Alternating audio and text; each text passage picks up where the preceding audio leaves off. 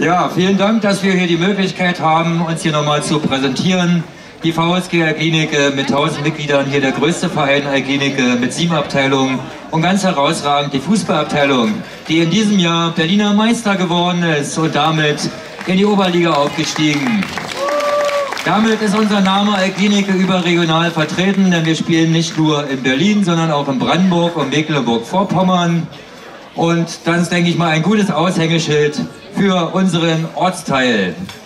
Ja, wir haben hier zwei Vertreter, die ich gerne etwas vorstellen möchte. Das eine ist unser Trainer Simon Rösner, der uns auch zur Berliner Meisterschaft geführt hat, zweimal sogar. Und ihn kennt man. Es ist Thorsten Matuschka. Unser Mannschaftskapitän der VSG Alklinike. So, Simon, du warst ja schon mal Berliner Meister, nämlich 2012, 2016. Wie ist da so der Vergleich? Erstmal schönen guten Tag an alle, die bei diesem wunderschönen Wetter den Weg hierher gefunden haben. Um die erste Frage äh, relativ schnell zu beantworten, ich glaube, den, so einen richtig großen Vergleich gibt es nicht. Ja? Wir haben äh, 2012 äh, den, den Weg, den die VSG Klinike durch die unteren Ligen Berlins äh, vollschritten hat, dann irgendwann mit dem Berliner Meistertitel abgeschlossen und das war, glaube ich, eher ja, nicht als Überraschung zu sehen, aber wir waren nicht so der deutliche Favorit wie im letzten Jahr. Letztes Jahr war es, wenn man ganz ehrlich ist, mehr oder weniger eine Pflichtaufgabe, Berliner Meister zu werden. Die haben wir gelöst in einer überzeugenden und überragenden Art und Weise und von daher möchte ich oder kann ich da ganz schwer Vergleiche ziehen. Ja, du warst ja auch schon Trainer bei Victoria. Ähm, was begeistert dich in der Klinik, Trainer zu sein? Also erstmal die ganze Art und Weise, wie der Verein aufgebaut ist. Also ich habe schon ewig Kontakt mit dem sportlichen Leiter und Macher von diesem äh, Verein hier, mit dem Daniel. Und ähm, wir sind irgendwann zueinander gekommen, als ich noch ganz woanders Trainer war. Und äh, ja, wir haben den Kontakt nie verloren und es hat halt immer, immer Spaß gemacht, hier zu arbeiten. Und von daher war ich natürlich auch schnell zu begeistern, als er mich dann zur, zum Beginn der letzten Saison gefragt hat, ob wir es nicht einfach nochmal machen wollen. Und äh, ja, dann haben wir uns in ein Boot gesetzt und sind, wie gesagt, erfolgreich durch die Saison gerudert. Ja, du hast dich ja nicht mehr gut gehalten, sondern bist ja noch recht jung als Trainer, 40 Jahre.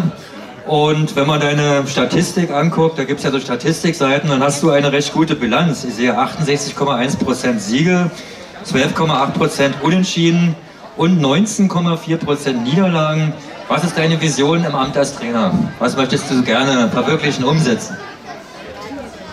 Na, als erstes äh, möchte ich dann umsetzen, dass die 19,1% Niederlagen noch ein bisschen weniger werden. Ja, dass wir da äh, noch eine bessere Statistik hinbekommen und ansonsten möchten wir gucken, wie weit der Weg mit der VSG Klinik hier geht und ansonsten ist das Fußballgeschäft so kurzlebig, dass man da schlecht oder schwer planen kann. Ansonsten bin ich mit dem, was wir hier gerade machen und tun und äh, die Vision, die dieser Verein hat, sehr zufrieden und mache mir keine Gedanken, wie es letztendlich irgendwo anders oder sonst irgendwo weitergeht. Mit der Klinike so weit wie möglich und so hoch wie möglich Fußball spielen. Gut, vielen Dank. Ja, wir haben ja schon vier Spiele in der Oberliga gehabt. Da gab es das 1-0 gegen Optik Rathenow. Wir haben 1-0 in Malchow gewonnen. Wir haben den großen Favoriten Tennis Borussia 2 1 geschlagen und jetzt ja, nur 2-2 in Selo. Aber wie bewertest du die letzten vier Spiele? Hätte mir vor der Saison jemand gesagt, dass wir nach vier Spielen Tabellenführer sind, äh, ungeschlagen und zehn Punkte haben, hätte ich sofort unterschrieben. Ja, das, ist, äh, das ist das Erste. Dann äh, die ersten beiden Spiele mit äh, Optik Rathenow und vor allen Dingen in Malchow wussten wir von Anfang an, wie schwer diese Spiele sind, weil Optik Rathenow als Regionalliga-Absteiger ähm, und Malchow als Team, was schon seit Ewigkeiten in dieser Liga spielt und diese Liga kennt, waren natürlich unheimlich schwer. Denn wir sind und bleiben Aufsteiger, auch wenn wir einen guten Kader haben, aber wir wussten, was uns... Äh, was uns bevorsteht. Ja, von daher war ich mit diesen, mit diesen Auftritten und diesen knapp klingenden 1 zu 0 Ergebnissen sehr, sehr zufrieden. Ja, das Highlight vor fast 1000 Zuschauern gegen unseren Dauerrivalen TB ist natürlich nicht nur für uns ein Highlight gewesen, sondern auch für alle aus dem Bezirk und alle Fans von der Klinike. Ich glaube, dieses Spiel, äh, da haben alle und lange hingefiebert. Das haben wir dann äh, auch in überzeugender Art und Weise gewonnen. Da sind wir auch immer noch stolz drauf. Aber, und äh, da möchte ich jetzt so ein bisschen mahnende Worte an alle, die uns auch begleiten, richten, wir werden und können nicht alle Spiele gewinnen. Ja, und von daher finde ich dieses Abwerten eines äh, 2 zu 2 Unentschiedens in Selo so ein bisschen falsch und nicht angebracht. Denn wir sind sehr zufrieden, diesen Punkt mitgenommen zu haben. Wir sind weiterhin umgeschlagen und man muss vor den anderen Mannschaften halt einfach auch diesen Respekt haben, dass man sagt, man fährt auch als äh, eventueller Favorit zu einem Auswärtsspiel am Freitagabend und äh, kommt dann nur äh, Anführungsstrichen mit einem Punkt wieder und wir sind, wir sind damit zufrieden, wir können damit leben und ähm, Selo hat sich an diesem Abend durch ihren Einsatz diesen Punkt auch wirklich verdient. Ja, vielen Dank.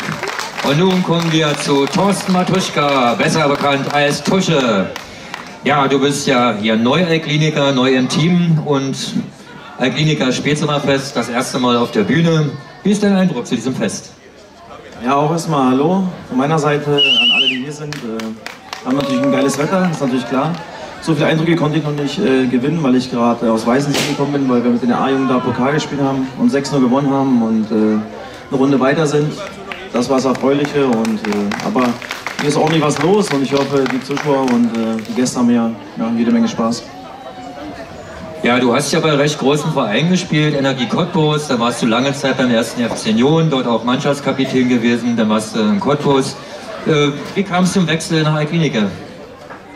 Ja, natürlich durch den äh, Abstieg jetzt äh, im, im, Sommer mit Energie Cottbus äh, ging es für mich in Cottbus halt sportlich nicht weiter und äh, haben uns dann relativ schnell mit Daniel Böhm äh, getroffen und äh, haben ein paar Dinge besprochen, wie die sich das vorstellen, wie ich mir das vorstelle und ja, sind da uns schnell einig geworden und ja, ich will den Weg, den der Verein hier eingeschlagen hat, mitgehen und es hört sich interessant an.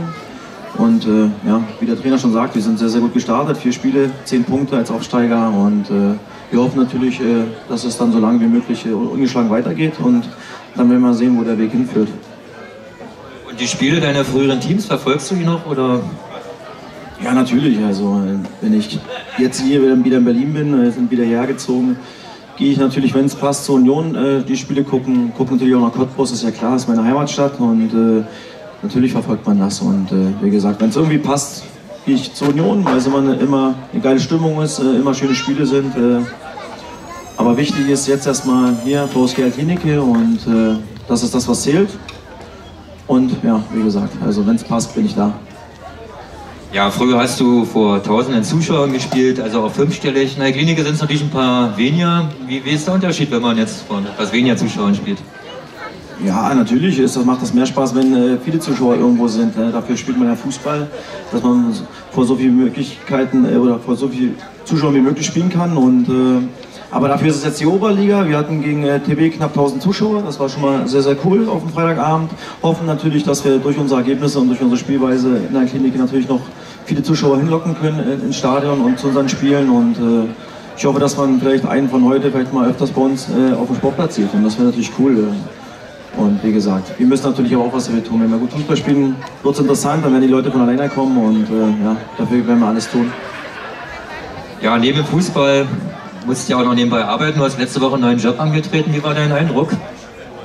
Ja, das ist natürlich auch ein neuer Lebensabschnitt für mich. Ich äh, bin jetzt bei Detlef Müller im Fanshop, äh, kann da verschiedene Dinge reinschnuppern, weil ich jetzt natürlich auch über den Tellerrand hinausgucken muss. Äh, außer vom Fußball ich werde jetzt auch 36, werde nicht mehr allzu lange spielen können und äh, jetzt gilt es für mich auch die Dinge nach dem Fußball äh, vorzubereiten und äh, da gibt mir Detlef Müller die Möglichkeit und äh, jetzt liegt es an mir. Ich will meine Trainerscheine machen, versuchen dann äh, ja, Simon mal abzulösen. Nein, natürlich nicht. Äh, meinen Weg zu gehen und ich bin froh, dass ich den na, bei der A-Jugend Co-Trainer machen kann unter Jürgen Franz, ist ein alter Trainer, ein erfahrener Trainer, kann da auch viel lernen und ja, dann werde ich mal sehen, wo es mich hin verschlägt. Ja, bei der A-Jugend kann man ihn also wie gesagt äh, sehen, aber jetzt habe ich noch was anderes äh, gelesen. Äh, Tusches Fußballcamp gibt es jetzt. Kannst du dazu ein paar Worte sagen? Ja, das ist auch, äh, was wir schon länger mal geplant hatten. Jetzt können wir das im äh, Oktober machen bei der VSG Alklinike. Ähm, haben da auch ein paar Überraschungsgäste äh, bereit aus meinen, von meinen ein paar alte Kameraden von Union, wenn er mal aufdribbeln. Und ja, wir versuchen natürlich den Kindern auch äh, ja, Fußball zu lernen. Und ich hoffe, dass sich äh, viele anmelden, wir viele Kinder da haben, die Spaß mit uns haben und äh, dass wir denen noch ein bisschen äh, den Fußball vermitteln können. Egal wie alt sie sind, äh, ab sechs Jahre können sie sich anmelden. Und Björn Brunnemann macht mit, Francis Banecki macht mit. Also das sind doch ja, ehemalige Ex-Profis da als Trainer dabei. Und äh, wir hoffen, dass das ein ja, Erfolg wird und vernünftig wird. Und hoffen, dass wir da auch noch mal ein paar schöne Dinge erleben können und, und in der Woche werden wir natürlich äh, alles dafür geben, dass das vernünftig abläuft. Ja, vielen Dank. Das waren die Interviews mit Simon Rösner und Thorsten Matuschka.